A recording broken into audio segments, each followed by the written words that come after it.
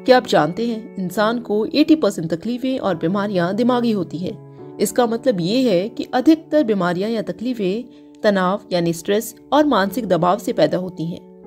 हम अपनी physical health का ख्याल फिर भी रख लेते हैं, लेकिन मेंटल हेल्थ और मेंटल पीस पे कभी ध्यान नहीं देते।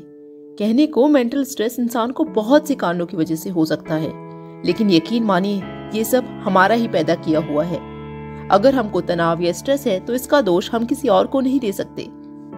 क्योंकि ये जो तनाव है ना, पूरी तरह सिर्फ़ और सिर्फ़ हमारे दिमाग की उपज है और कुछ नहीं।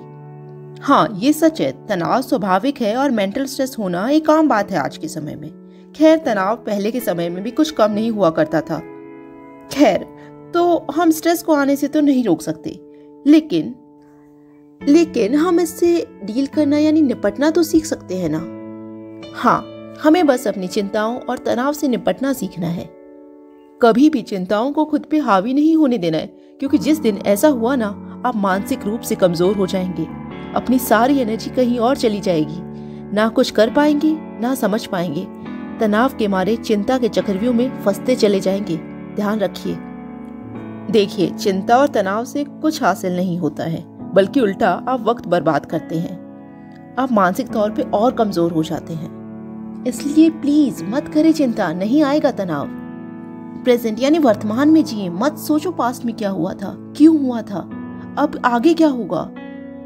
क्योंकि जो हो चुका है, सो हो चुका है, आप उसको बदल नहीं सकते। और जो होना है, वो होगा। तो सोच के वक्त क्यों बर्बाद करना?